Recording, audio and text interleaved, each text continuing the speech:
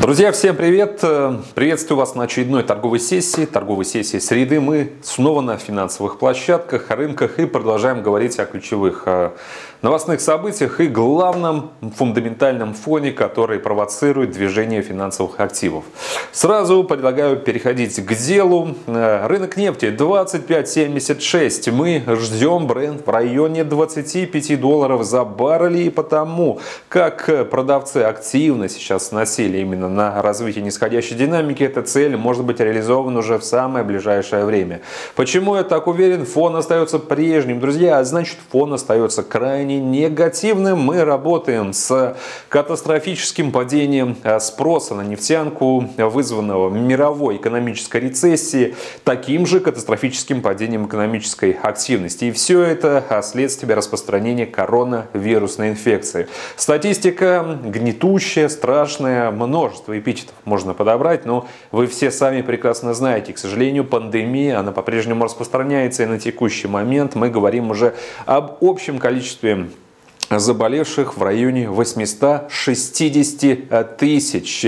Такими темпами, э, друзья, мы очень скоро будем вынуждены констатировать цифру и в 1 э, миллион. По поводу снижения спроса на нефть у меня сегодня для вас э, два прогноза. Это прогноз от Bank of America, где прогнозирует сокращение спроса на нефть на 12 миллионов. Мне нравится этот прогноз, он более-менее укладывается как бы в ту линию, линию рассуждений и предсказуемого обвала, а, о чем я вам говорил уже много раз. Но еще больше мне нравится прогноз Goldman Sachs, он ближе уже к реальности, еще ближе, скажем так, потому что в Goldman Sachs эксперты прогнозируют, что спрос на нефть может снизиться на 26 миллионов. Фактически э, мировое потребление нефти будет снижено больше, чем на 25%. Проблемы для спроса еще усиливаются ростом и предложением. Мы знаем, что исходя исходя из анонсированных после развала Альянса э, планов Саудовской Аравии и России увеличить нефтедобычу вот с апреля месяца, а ранее еще и Саудовская Аравия сообщила о том, что дополнительно они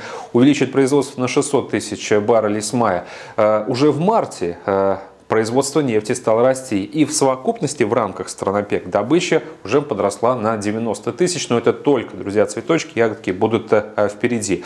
Единственное, что меня может заставить отказаться от коротких позиций по нефти, это улучшение ситуации вокруг распространения коронавирусной инфекции. Пока этого не происходит, я рекомендую действовать сейчас по текущему предсказуемому тренду. Это ждать еще большего обвала котировок нефти. Индекс доллара, друзья, предлагаю сделку buy stop с уровня 90 29.30 верю я в рост американской валюты, потому что для меня это эталонный защитный Инструмент, который сейчас явно недооценивается.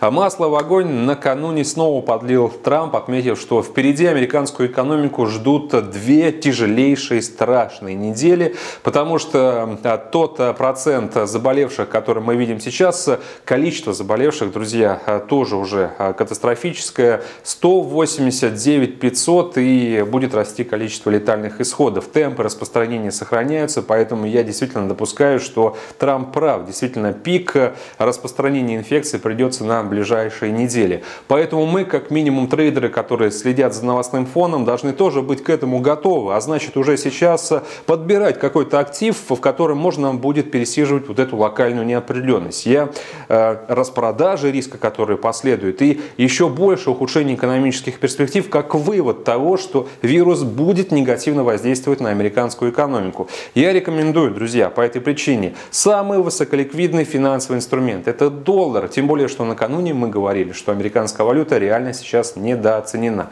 И такой для, скажем, эм, дополнительного эм, подтверждения идеи повышенного спроса на э, доллар и предстоящей слабости американской экономики Прогноз Goldman Sachs, вдумайтесь, запомните эти цифры, они, э, на мой взгляд, абсолютно оправданы. Во втором квартале 2020 э, года американская экономика может просесть на 34%. Поэтому возвращаемся к идеям повышенного спроса на защиту. Доллар покупаем, золото покупаем, чуть откатили 1585. Это, друзья, локальная коррекция перед э, последующим восстановлением. Я вообще не думаю, что золото в принципе с учетом таких реалий может держаться ниже 1600 долларов за тройскую унцию. Биткоин 1636 вслед за золотом будет также подрастать, ждем повыше. Евро против доллара 1.1019, небольшая коррекция, но видно, что трейдеры сейчас готовы сбрасывать риск, но вот нужна доп. поддержка в росте курса американского доллара.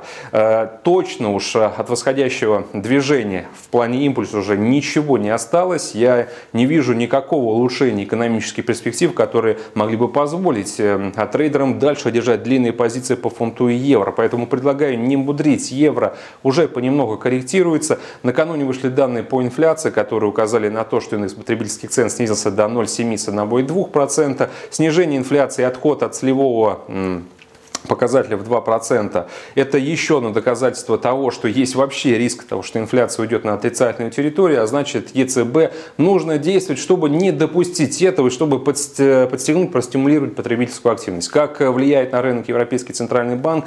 Это меры экономического стимулирования, ставки и программа количественного смягчения. По ставкам может быть уже разыграться и разгуляться негде, но по программе количественного смягчения объемы можно еще и нарастить. Поэтому ждем евро внизу. Фунт также распродажа 1.2380, оправданное более-менее значение сейчас для британца, это отметка 1.20. Доллар канадец 1.4103 сейчас. Честно говоря, не вижу причин, по которым, э, стоящих фундаментальных причин, которыми можно было бы оправдать вчерашнюю коррекцию. Я думаю, что это ошибка, и трейдеры уже сейчас должны снова выкупать эту валютную пару, потому что здесь и снижение цен на нефть, очевидно, и собственно, ожидание дополнительных стимулов со стороны канадского банка и ставка на укрепление курса доллара. Друзья, покупайте эту валютную пару, она принесет очень хороший профит. S&P 2523 пункта, ждем на уровне 2200 пунктов. Сегодня мы, друзья, снижаемся. Э, я думаю, что это только начало и в ходе э, текущей торговой сессии ралли будет усилено. Впереди у нас отчет э, по EDP по состоянию американского рынка труда. В случае выхода слабых данных я, в принципе, ожидаю только такие. Давление на американский фондовый рынок может только усилиться. На этом все. Большое спасибо за внимание. Всего доброго. До свидания.